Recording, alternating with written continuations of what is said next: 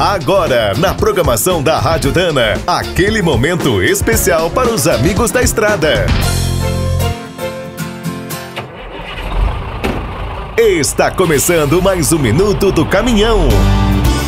Fique por dentro das últimas notícias, histórias, dicas de manutenção e novas tecnologias. Quem é mais velho ainda se lembra da emoção de ver os astronautas andando de carro na Lua durante as missões Apollo de 1971 e 72.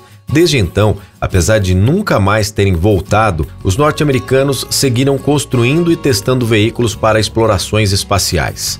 Agora, com várias nações interessadas em conquistar a Lua e chegar até a Marte, o desenvolvimento dessas máquinas está avançando. A NASA trabalha no projeto de um verdadeiro caminhão espacial desde 2007.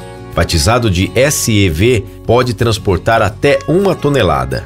O Bruto conta com 12 rodas. São seis conjuntos independentes com suspensão, tração e direção. Consegue encarar qualquer terreno. Como a boleia é vedada e pressurizada, os dois astronautas podem usar roupas normais. Os trajes espaciais ficam do lado de fora. Além dessa facilidade, os bancos viram camas e a parte de trás da cabine tem armários, mesa e até um banheiro com chuveiro. De acordo com o trabalho, a plataforma de carga pode ser equipada com guincho, escavadeira, guindaste ou outros acessórios.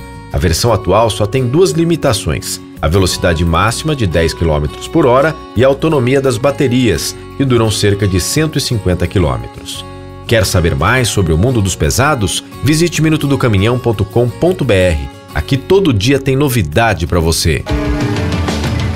O Minuto do Caminhão é um oferecimento de Spicer e Álvaros, a dupla imbatível em componentes de transmissão, suspensão e direção. Quem é do trecho já sabe, para ficar bem informado, a Rádio Dana é sempre a melhor sintonia.